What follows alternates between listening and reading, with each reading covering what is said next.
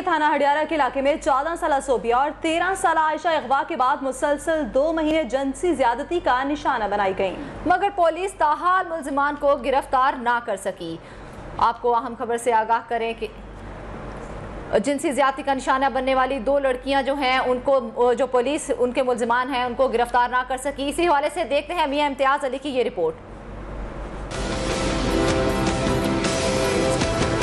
یہ ہیں چودہ سالہ صوبیہ اور تیرہ سالہ عائشہ، جن کو تھانہ بڈیارہ کے علاقے میں اغوا کر کے دو مہینے تک جنسی زیادتی کا نشانہ بنایا جاتا رہا۔ متاثرہ لڑکیوں کا کہنا ہے کہ ملزم آصف نے دو مہینے خود زیادتی کی، پھر ایک لاکھ کے عوض فروخت کر دیا۔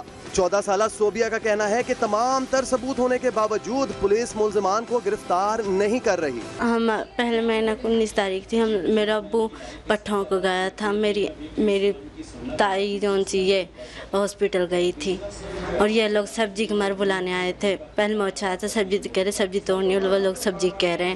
ہم لوگوں نے کہا، ہمارے ابو آ جائے ہم جب چلے جائیں گے سبزی توڑنے کے لیے۔ اور تھوڑی دیر بعد میں اس کے پاس ادارہ تھا، وہ کہہ رہے سبزی توڑنی، ہم ان سے گھر ساتھ سبزی توڑنے توڑنے کے لیے گئے تھے۔ اور ان لوگوں نے الٹا ہم لوگوں گاڑی میں بٹھا دیا تھا۔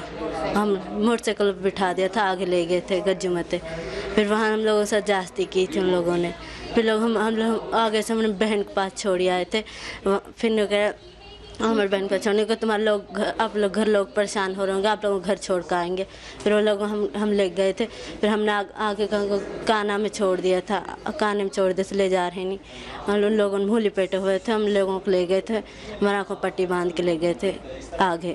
اور وہ لوگ کافی آگے چلے گئے تھے۔ ہم لوگوں لے کے ہم کوٹھوں پہ بند کرتے وہاں کوٹھوں پہ کام ہوتا تھا۔ جب لڑکے آتے جب کھولتے تھے دروازہ جاستی کرتے تھے ہمارے ساتھ۔ متاثرہ لڑکیوں کے والدین نے وزیر اعلیٰ پنجاب سے اپیل کی ہے کہ ملزمان کو فوری گرفتار کر کے سخت سے سخت سزا دی جائے۔ نواز شریف تے شریف تے ہماری سنائی کریں بھائی ہم غریب آدمی ہیں۔ تے ہمارے ساتھ جاستی بہت ہو رہی ہے۔ دونوں بہنوں سے زیادتی کے حوالے سے بات کی گئی تو کوئی بھی واضح موقف نہ مل سکا۔